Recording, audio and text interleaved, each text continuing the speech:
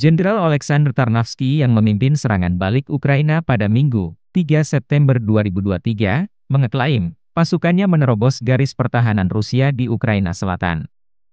Tarnavsky mengungkapkannya dalam wawancara dengan media Inggris The Guardian, beberapa hari setelah Ukraina mengumumkan kemenangan strategis dengan merebut kembali desa Robotine. Kami sekarang berada di antara garis pertahanan pertama dan kedua, kata Tarnavsky, dikutip dari kantor berita AFP. Di tengah serangan, kami sekarang menyelesaikan penghancuran unit musuh yang melindungi mundurnya pasukan Rusia di belakang garis pertahanan kedua mereka.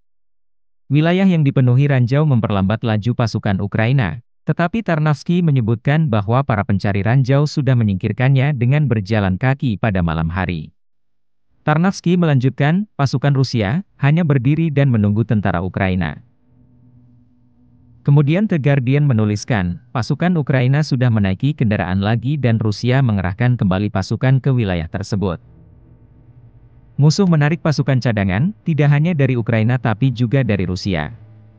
Namun cepat atau lambat, Rusia akan kehabisan tentara terbaiknya. Ini akan memberi kita dorongan menyerang lebih banyak dan lebih cepat, kata Tarnavsky. Semuanya ada di depan kita.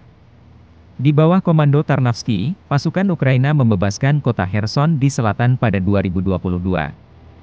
Dia juga mengungkapkan bahwa ketika Ukraina melancarkan serangan balik pada Juni, mereka membutuhkan lebih banyak waktu daripada yang diperkirakan untuk menyingkirkan ranjau. Sayangnya, evakuasi korban luka menyulitkan kami.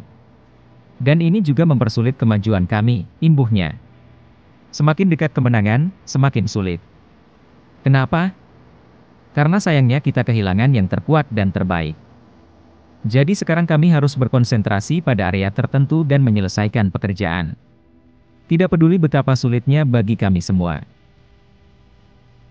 Sebelumnya pada Sabtu, 2 September 2023, Presiden Ukraina Volodymyr Zelensky menepis kritik terhadap serangan balasan pasukannya.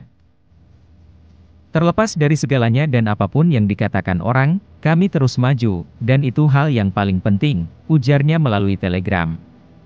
Kami sedang bergerak.